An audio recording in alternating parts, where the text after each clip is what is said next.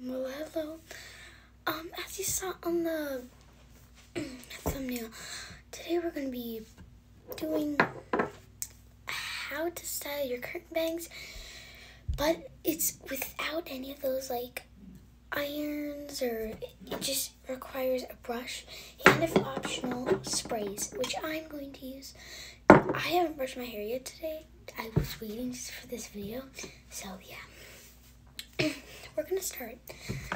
I- I'll just show you what you're gonna need. Number one, optional.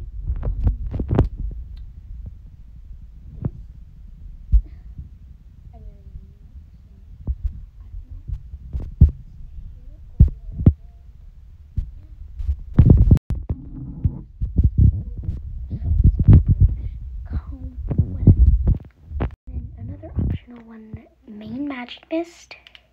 Makes your hair good. So let's get started. We're gonna first off of splitting our hair like this, checking how browns it is. If your hair is a different color, it does not matter. So then you're gonna wanna just go like this and brush through each.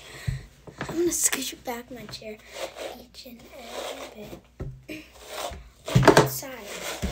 I'm you when it's done, sorry. It's gonna look like this. And then optional, if you got the mist, just and then go like this. Brush it out again.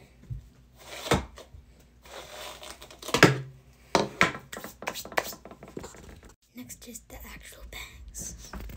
Grab your brush and go like this and then bring it up and then down.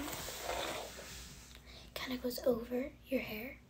Let's try that for the other one. Up and down. Makes your hair really nice. Um, and I would also like recommend going like this if like the top looks bad. I just mine for you, so be grateful. So you're gonna go like this a couple times until it's however you want and then see there? You you gotta like even it out a little bit. And then I'll show you the end result.